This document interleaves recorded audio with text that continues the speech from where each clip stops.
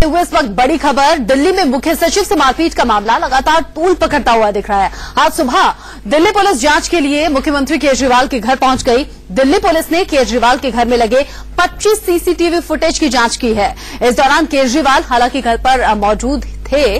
जाँच के बहाने केजरीवाल ने बीजेपी पर हमला भी किया है और कहा है कि मैं जाँच से खुश हूँ, लेकिन ऐसी ही जाँच जज लोया की मौत के मामले में भी होनी चाहिए।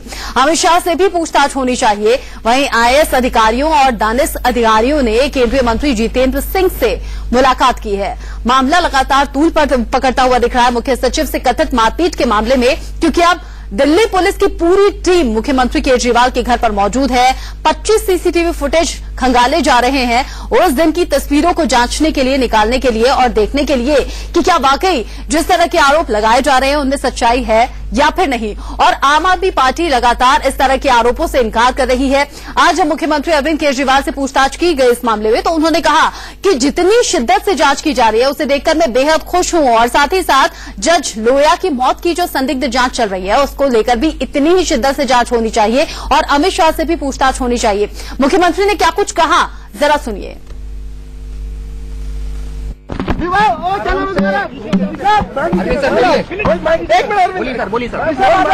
मैं ये कहना चाहता हूँ कि जितनी शिद्दत के साथ, जी, इस पूरे मामले की जाँच की जा रही है, जी। मुझे बेहद खुशी है। जी, जाँच होनी चाहिए। जी, लेकिन मैं जाँच एजेंसियों से कहना चाहता हूँ, जी, कि जज लोया के कत्ल की जाँच पे, जी, अमित शाह से पूछताछ करने की भी दिखाएँ जी तो देश उनको बधाई देगा। अब इस विषय को लेकर के संबंधित विभाग संज्ञान लेंगे, परंतु जैसे मैंने कहा, हमारा एक सीमित दायित्व था, सीमित मैंडेट कि डीओपीटी चूँकि कार्डर कंट्रोलिंग अथॉरिटी है आईएएस अधिकारी के लिए अनुकूल व्यवस्था करना, अनुकूल वर्किंग वातावरण सुनिश्चित करना, ये भी डीओपीटी के दायित्व में आता है। उस नाते हमने उनकी बात सुनी है और उसका उचित संज्ञान लेकर के आगे क्या मत बनेगा, उस पर विचार केंद्रीय मंत्री जितेंद्र सिंह को आपने सुना, जिन्होंने बताया कि आईएएस एसोसिएशन ने उन्होंने उनसे जाकर मुलाकात की और एक सुनिश्चित वातावरण तय करना चाहिए और इस तरह की घटनाएँ, दोहराई ना ना जाएँ, उसको लेकर भी खास ख्याल रखा जाएगा। चार तस्वीरें एक साथ हम आपको दिखाते हैं। कैसे ये मामला लगातार तूल पकड़ता हुआ दिखाई दे रहा है? सुबह जब दिल्ली पुलिस के 50 से 60 कर्मी पहुँचे मुख्यमंत्री के घर पर और चप्पे चप्पे की तलाशी ली जा रही है। सीसीटीवी फुटेज खंगाले जा रहे हैं और उधर मुख्यमंत्री केजरीवाल से जब इस बारे में पूछताछ की गई, पूछा गया तो उन्होंने उल्टा बीजेपी पर ही हमला बोल दिया। जितेंद्र सिंह से मिला है आईएएस एसोसिएशन। दानिक्स अधिकारियों ने उनसे मुलाकात की है।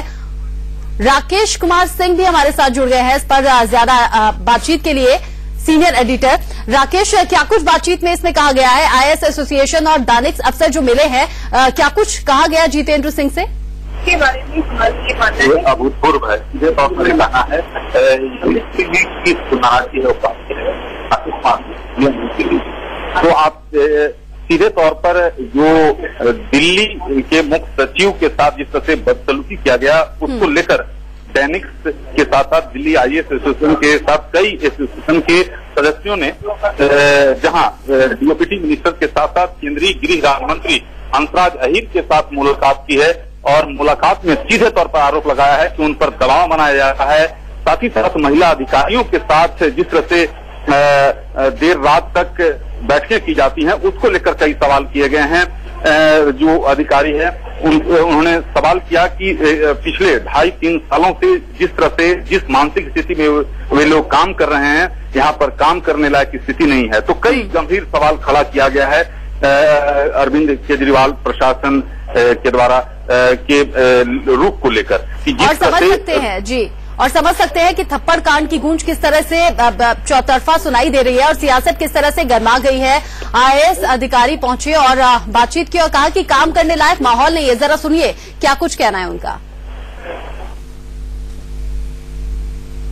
व्यू और way how to handle situation इसलिए हम आए थे, बताया उनको उन्होंने सुना है और कहा है कि हम इस बारे में करेंगे। कार्रवाई और पुलिस को भी बोल दिए बोल देंगे कि वो जुडिशियस पे भी काम करेंगे। पुलिस हालाँकि पहुँची है वहाँ पर एविडेंस कलेक्ट करने सीएम आवास पर अभी जो है जो हम भी मिलेंगे हम भी मिलेंगे इमरान साहब से हम भी पूछेंगे क्या हुआ है कैसे हुआ है हम तो थे नहीं वहाँ। तो मुझे नहीं लगता कि हमारे स्विंग के लोग ऐसा कर सकते हैं और मुझे नहीं इसलिए लगता कि वो कहेंगे इस बात को इमरान साहब। सर आप जितेंद्र सिंह की, की जो उन्होंने कहा है आप लोगों से आपको आश्वासन दिया तो आप उससे आश्वस्त हैं आप लोगों को या तो सुना आपने काम करने लायक माहौल नहीं है, भयमुक्त होकर काम किया जाए, ऐसा माहौल होना चाहिए, न कि दबाव में काम किया जाए। और साथ ही ज़्यादा अपडेट के साथ पुलकित नागर भी हमारे साथ जुड़ गए हैं, जो कि मुख्यमंत्री के आवास के बाहर ही मौजूद हैं। पुलकित, जरा ये बताइए, जो 50 से 60 पुलिसकर्मियों की टीम पहुँची थी, क्या कुछ मिला जाँच में? देखिए, अभी करीब 25 सीसीटीवी कैमरे हैं, जो सीएम हाउस पर लगे हुए हैं। उन्हें जो जो फुटेज उन्हें चाहिए, यानी कि पुलिस डिपार्टमेंट को चाहिए उस रात की तो उन फुटेज को लिया जा रहा है। सा, साथ में फॉरेंसिक एक्सपर्ट की टीम भी है। तो हो सकता है कि डीवीआर जिसमें पूरी फुटेज रिकॉर्ड होती है उसे भी पुलिस टीम अपने साथ ले जाए। अगर उन्हें लगता है कि उसमें से कोई चीज़ डिलीट की गई है तो उस समय उसे भी लिया जा सकता है। तो टोटल अभी जो खबर अंदर से आ रही है वो ये कि 25 सीसीटीवी कैमरे हैं जिन्हें पुलिस तलाश रही है जिनकी फुटेज को देखा जा रहा है और उसके बाद में उनके डीबीआर को भी पुलिस अपने साथ ले जा सकती है। कुछ फुटेज पुलिस ने अभी वहाँ से ली है। बिल्कुल। 25 सीसीटीवी फुटेज की बात आपने की जिसे जब्त कर लिया है दिल्ली पुलिस ने। साथ ही पुलकित आप नज़र ये भी बनाइएगा कि जहाँ पर मीटिंग चल रही थी, वहाँ का सीसीटीवी फुटेज मिला क्या और वहाँ सीसीटीवी लगा हुआ था क्या?